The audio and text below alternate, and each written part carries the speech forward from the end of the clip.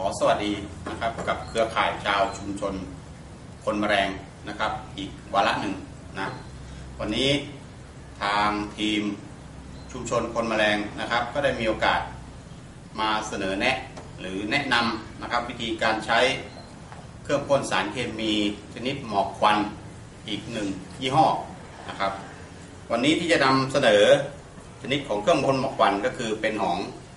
ไอจิบ้านะครับ TF 3 5 นะครับนี่ก็เป็นของเครื่องของเยอรมันเหมือนกันนะครับ ก็เป็นเครื่องที่ใช้กันทั่วๆไปใช้กันเยอะนะครับ แล้วก็ความมาตรฐาน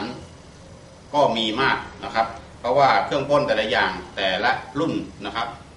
เครื่องมาตรฐานนะครับ สมควรที่จะมีหัวควบคุมนะครับ อัตราการไหลของสารเคมีนะครับ อันนี้ต้องมีนะครับ อันนี้ก็อยู่ในกลุ่มของเครื่องพ่นฝอยละเอียดเหมือนกันนะครับ แต่เป็นชนิดหมอกควันนะจากนั้นเมื่อเรามีเครื่องตัวนี้มาแล้วความชำนาญในการใช้เครื่องนะครับ ถ้าเรายังไม่พร้อมนะครับ หรือว่ายังไม่ชำนาญพอนะครับ เราก็จะมาแนะนำวิธีการใช้เครื่องพ่นนะครับ อันดับแรกนะครับ เราก็ดูส่วนประกอบที่สำคัญนะครับ ก็จะมีอะไรบ้างนะครับ ก็จะมีชุดถัง นะครับ ชุดนี้คือถังน้ำมันเชื้อเพลิงนะครับ ด้านนี้นะครับถังใหญ่ก็เป็นถังบรรจุสารเคมีนะครับ ชุดนี้เขาเรียกว่าชุดคาร์บูเรเตอร์นะครับ แล้วก็รวมทั้งชุดไดอะแฟมนะครับ จะเป็นชุดเดียวกันนะครับ และอีกหนึ่งชุดนะครับก็คือชุดนี้นะครับเป็นชุดท่อความร้อนนะครับ ชุดห้องเผาไหม้ชุดท่อความร้อนนะครับ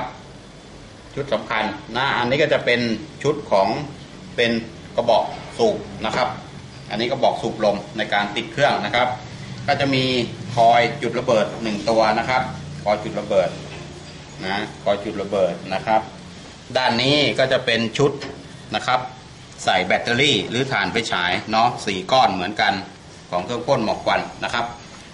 อ่าอันนี้ก็จะเป็นส่วนประกอบชุดนี้อีกหนึ่งชุดก็เป็นชุด ปิดเปิดสารเคมีนะครับ ปิดเปิดน้ำยานะครับอันนี้ก็เป็นชุดสายส่งสารเคมีนะครับอ่าอันนั้นฉะนั้นฉะนั้นแล้วเมื่อเราทราบนะครับ ส่วนประกอบของเครื่องพ่นสารเคมีชนิด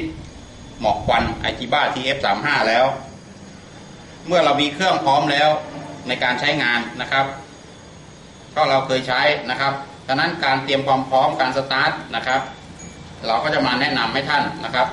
การเตรียมความพร้อมของเครื่องนี้นะครับ ก่อนที่จะนำไปใช้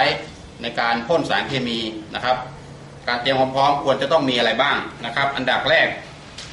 ก็คือถังบรรจุเชื้อเพลิงนะครับ เราดูที่ว่าน้ำมันเชื้อเพลิงในถังเชื้อเพลิงเรามีหรือยังนะครับ ฉะนั้นการเติมน้ำมันเชื้อเพลิงนะครับ ก็โดยใช้น้ำมันเบนซินนะครับ ธรรมดานะครับ ไม่ต้องผสมน้ำมันเครื่องนะครับ การเติมน้ำมันเชื้อเพลิงนะครับ ให้อยู่นะครับ ให้ต่ำกว่าปาก หรือว่าให้ต่ำกว่ารอยตะเข็บนะครับ เพื่อที่จะให้ในห้องถังน้ำมันเชื้อเพลิงเนี่ยมีช่องว่างสำหรับอากาศอยู่ได้นะครับ ห้ามใส่เต็มนะครับ เมื่อเรามีน้ำมันเชื้อเพลิง อ๋ออีกอีกอีกอย่างที่สำคัญนะครับ การเติมน้ำมันเชื้อเพลิงแต่ละครั้งนะครับจำเป็นที่สุดนะครับ ต้องมีกลวยที่มีตะแกรงกรองนะครับ ทุกครั้งไปนะครับ เพื่อป้องกันสิ่งสกปรกเศษ ชิ้นส่วนต่างๆ ที่มันสกปรกที่มันจะทำให้หล่นลงไปอยู่ในถังเชื้อเพลิงได้นะครับ อันนี้ต้องมีนะครับ ต่อไปถังสารเคมีนะครับ มีสารเคมีใส่พร้อมหรือยังนะครับ ผสมอัตราส่วนให้ถูกต้องนะครับ ของสารเคมีแต่ละชนิด ที่เขาจะบอกไว้ว่าสารเคมีชนิดนี้ควรผสมต่อตัวทำละลายอัตราส่วนเท่าไหร่ต้องผสมให้ถูกต้อง แล้วก็ผสมให้ละเอียดให้ได้มาตรฐานนะครับ ให้เข้ากันให้ดีนะครับ แล้วนำมาเติมในถังสารเคมี การเติมสารเคมีก็เหมือนกันนะครับ การเติมแต่ละครั้งนะครับ จะต้องมีกลวย กรองสารเคมีเหมือนกันนะครับ เพื่อกรองเศษวัสดุสิ่งสกปรกทั้งหลายนะครับ ที่มันอยู่ในถังบ้างนะครับ เวลาเราเติมเข้าไปนะครับ ตัวนี้ก็จะเป็นตัวดักสิ่งสกปรกที่จะลงไปในถังสารเคมีนะครับ ต้องทุกครั้งไปมิฉะนั้นแล้วมันจะทำให้สารเอยเศษผงเนี่ยเข้ามาอุดตันนะครับ ในหัวควบคุมอัตราการไหลของสารเคมีได้ ก็จะทำให้สารเคมีไม่ไหลนะครับ เมื่อเราเติมสารเคมีแล้ว ก็ต้องให้มีช่องว่างเหมือนกันนะครับ ห้ามเติมเต็มถังนะครับ เพื่อที่จะต้องมีอากาศเข้าไปดันสารเคมีเหมือนกันนะครับหนึ่งส่วนสองส่วนแล้วนะครับ ส่วนต่อไปนะครับ ก็คือส่วนของแบตเตอรี่ถ่านไฟฉาย 4 ก้อนนะครับอ่าอันนี้นะครับจะแตกต่างกับยี่ห้อพันฟ็อกนะครับ เพราะอันนี้ต้องใช้หัวขั้วบวกนะครับ ใส่เข้าไปด้านในนะครับ ใส่เข้าไปด้านใน4ก้อนให้ถูกต้องนะครับขั้วลบออกนะครับ เมื่อใส่เรียบร้อยแล้ว เราก็มาทดสอบนะครับ ทดสอบว่าฐานไฟฉายที่เราใส่นั้นมีไฟไหมหรือว่าใส่ถูกต้องหรือเปล่านะครับ โดยการนะครับกดสวิตช์นะครับ อันนี้เรียกว่าสวิตช์จุดระเบิดเพื่อให้ไฟทำงานนะครับ ให้เราทดสอบกดดูนะครับ ถ้ามีเสียงดัง แสดงว่าโอเคใช้ได้นะครับ ส่วน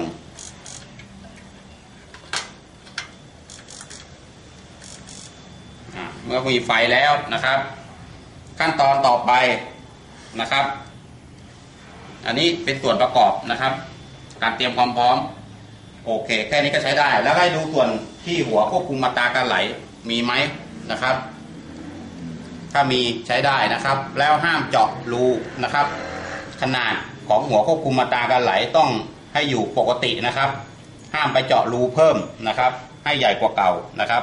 มิฉะนั้นแล้วจะทำให้สารเคมีขนาดของละอองที่ถูกปล่อยออกมา ไม่ได้มาตรฐานนะครับ อันนี้ก็จะเป็นวิธีการของการเตรียมความพร้อมนะครับ ก็มีขั้นตอนแค่นี้ครับ